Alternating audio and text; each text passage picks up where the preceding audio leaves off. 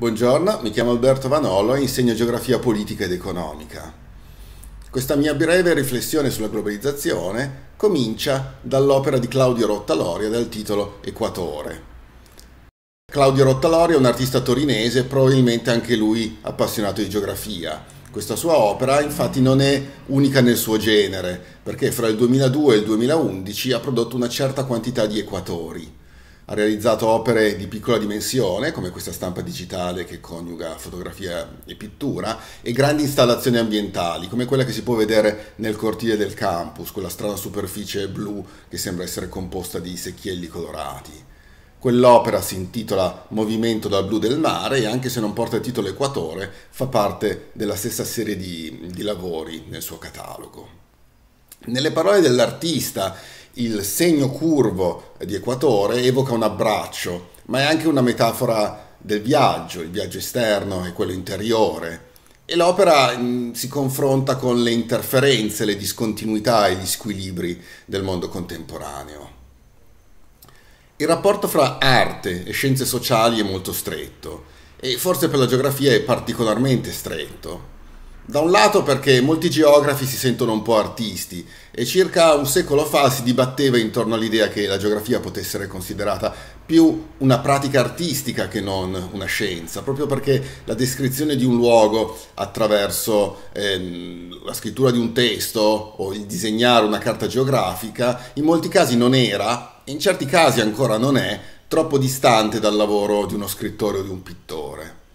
Ma esiste anche un'altra dimensione, i concetti e le immagini della geografia possono essere di grande stimolo per altri campi del sapere e dell'ingegno, come appunto per il lavoro artistico. L'immaginario geografico dell'isola o quello della montagna, del viaggio, eh, del centro e della periferia, sono tutti esempi di contaminazioni fra concetti che sono in qualche modo geografici, anche se non sono esclusivi della geografia, e altri campi dell'ingegno. Allo stesso tempo la geografia descrive lo spazio prendendo a prestito altri concetti dalle scienze, come le scienze sociali di cui ci occupiamo in questo dipartimento. Il concetto di globalizzazione è un esempio cruciale dell'interscambio di idee e teorie tra differenti campi del sapere. Non a caso si parla di globalization studies, prescindendo così da un preciso riferimento alla storia, alla sociologia, all'antropologia o all'economia. Ma l'immaginario della globalizzazione, mi sento di dire, ha comunque una forte radice geografica perché si collega a quel segno curvo che descrive, letteralmente scrive, la superficie del nostro pianeta. È impossibile stabilire quando abbia avuto inizio quella fase evolutiva della nostra società che chiamiamo globalizzazione il termine globalizzazione appare sostanzialmente a partire dagli anni 60, grazie al contributo di autrici e autori provenienti da una piccola parte del pianeta, ehm, tendenzialmente dal, dall'Europa e dal Nord America, ma per molti storici la globalizzazione esisteva già ben prima, tanto da rendere più opportuno parlare di globalizzazioni al plurale Ora, guardare alle linee di continuità rispetto ai fenomeni del passato, alle loro radici lunghe, è una strategia delle scienze sociali che si oppone alla tendenza a immaginare che quello che stiamo vivendo oggi sia completamente nuovo, misterioso e inspiegabile. E in questo senso fenomeni come il commercio, le migrazioni dei popoli, le contaminazioni culturali da una parte all'altra del mondo, come per esempio quelle linguistiche, hanno chiaramente una storia antichissima e riconoscerla ci permette di essere meno timorosi, meno sospettosi rispetto al cambiamento. Ma per certi versi la globalizzazione non, non, è caratterizzata solo da linee di continuità rispetto al passato, ma ha anche introdotto aspetti nuovi, come l'accelerazione senza precedenti di alcune tendenze già in atto e soprattutto nuovi modi di guardare al mondo. Alcune autrici, alcuni autori, provocatoriamente, hanno tracciato a questo proposito una storia della globalizzazione che la fa risalire a tempi più recenti, sostenendo per esempio che la globalizzazione sia iniziata nel 1972, quando per la prima volta la Terra fu fotografata dallo spazio nell'ambito della missione Apollo 8. Dire il vero esistevano già altre foto precedenti della Terra, ma quella del 1972 è stata la prima scattata da un essere umano in carne e ossa e che ritraeva l'intera superficie terrestre, pienamente illuminata mm, dal Sole.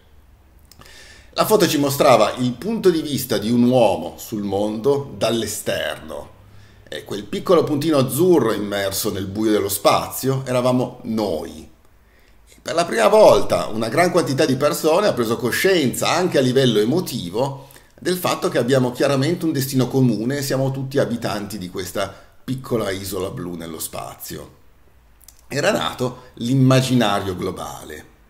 Non a caso quell'immagine diventa famosissima e divenne l'emblema di molti movimenti ambientalisti che stavano acquisendo forza in quel periodo.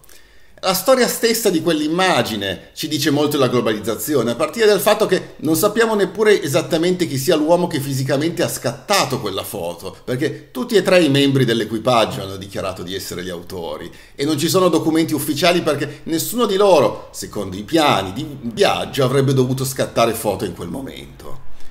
Come per altri fenomeni culturali che prendono forma nello scenario globale, non sappiamo esattamente da dove vengano e prendono forma, spesso in modo inaspettato.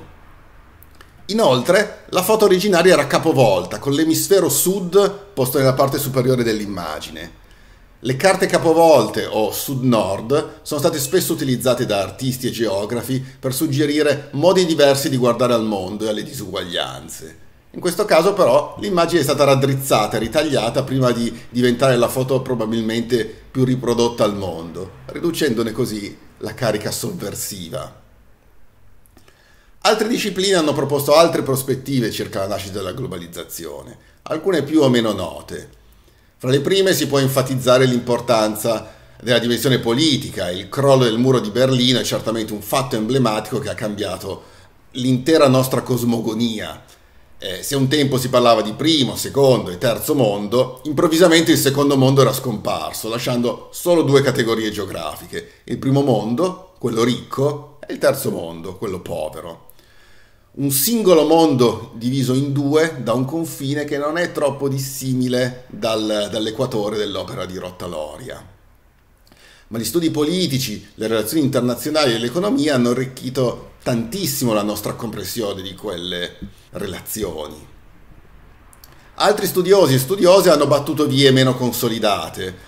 Un celebre sociologo descriveva come momento emblematico della nascita della globalizzazione quello in cui per la prima volta fu trasmessa in contemporanea in 90 paesi la serie tv americana Dallas, che è arrivata in Italia nel 1991. Era la prima volta che un prodotto culturale arrivava contemporaneamente nelle case di un simile numero di persone sparse su tutto il pianeta. Ma il sociologo sottolineava un aspetto cruciale, oggi ben noto, ma spesso sottovalutato ancora oggi, e cioè che uno stesso oggetto culturale, uno stesso discorso, una stessa pratica può assumere significati molto differenti in luoghi differenti del pianeta.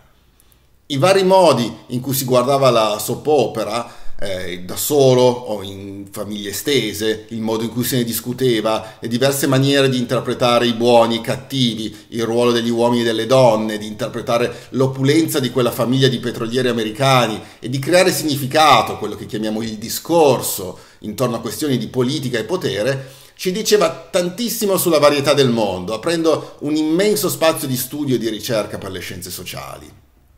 Il mondo è fatto di ibridazioni e contaminazioni e non è affatto omogeneo. In questo senso la globalizzazione è una condizione dinamica di squilibrio e di differenza. L'esperienza della globalizzazione è completamente differente a seconda del corpo di chi la vive.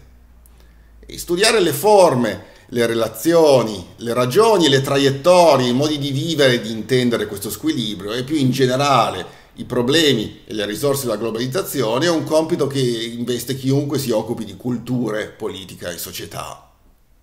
E sono sicuro in questo senso che ogni collega di questo dipartimento si occupi in modo più o meno diretto di globalizzazione, per esempio, e sono davvero solo pochi esempi fra i tantissimi possibili in termini di trasformazione e contaminazione delle pratiche religiose, delle dinamiche politiche, del conflitto di classe, delle pratiche di resistenza ai movimenti sociali, anch'essi sempre più organizzati in reti globali, delle forme di potere che si riproducono con il dilagare dell'ideologia neoliberalista, del ruolo sempre più pervasivo delle tecnologie nel plasmare relazioni a scale differenti, o dell'emergere di problematiche di portata planetaria, per esempio in termini ambientali, o come abbiamo visto di recente in termini sanitari. Ma soprattutto una visione complessa della globalizzazione ci permette di riconoscere come la globalizzazione non sia una condizione finale a cui stiamo tendendo naturalmente.